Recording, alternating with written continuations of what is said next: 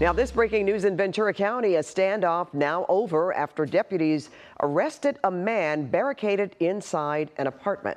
An assignment editor Mike Rogers is at the desk now. Mike, you have the details. The suspect was live streaming yeah. the whole thing? Yeah, he was, Pat. I watched it. We're not going to show it to you because of some of the statements and comments that were being made during the course of that live stream. But yeah, we did watch it. It sounds like this may have been over an eviction issue. That's at least what he was saying on the live stream, a bunch of with a long with a bunch of other kind of incoherent things. Now it's all happening in this apartment complex. I want to show you this video right here because this is the windows. That's his apartment where this was all going down. Uh, and I want you to look at that window. You'll see some smoke. The sheriff's department using uh, flashbangs. But then look at that, a cat gets scared and pops out the screen of the window and was sitting there on the ledge. Luckily, the cat went back inside, was able to go out the door of the bedroom. Uh, on the live stream that I was watching, the sheriff's department officials actually uh, banged a hole in that door and then put pepper spray through the door. The van eventually came out after the pepper spray, didn't like that at all, surrendered. You see here the sheriff's department hosing him down. He's eventually taken to the hospital. Uh, Pat, we were working on some more details with the Ventura County Sheriff's Department. They were the ones